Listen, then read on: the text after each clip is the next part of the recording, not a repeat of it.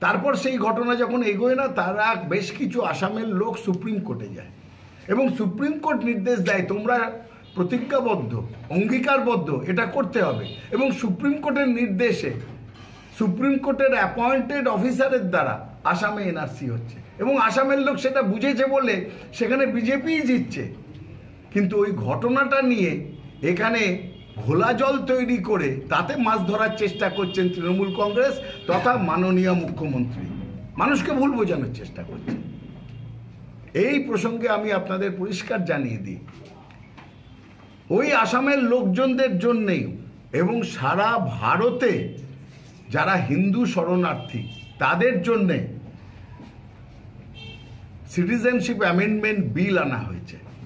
নাগরিকত্ব সংশোধনী বিল আনা হয়েছে, যেটা লোকসভায় পাস হয়েছে।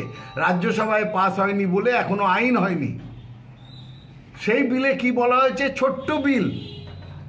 তাতে বলা হচ্ছে, এই বাংলাদেশ থেকে যারা হিন্দুরা এসছেন, তার সঙ্গে আরও যোগ আছে। আফগানিস্তান, পাকিস্তান থেকে যারা হিন্দু, শিখ, জৈন, বুদ্ধি, বুদ্ধিস্ট, খ্রিস্টান ইত্যাদি ধর্মীয় মাইনরিটি যারা ওইসব দেশের তারা যারা আমাদের দেশে এসছে, তাদেরকে নাগরিকত্ব দেওয়া হবে।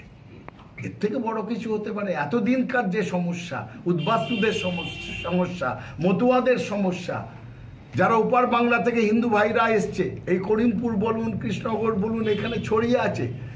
গত সত্তর বছর ধরে তাদের জন্য কেউ কিছু করেনি।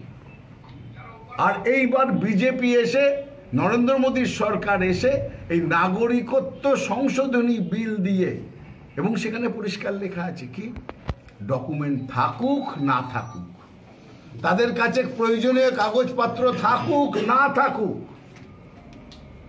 যে হিন্দুরা বাংলাদেশ থেকে আমাদের দেশে এসছেন, সময়সীমা বলা হয়নি, তারা প্রত্যেকে নাগরিকত্বের রক্ষা কবচ পাবেন।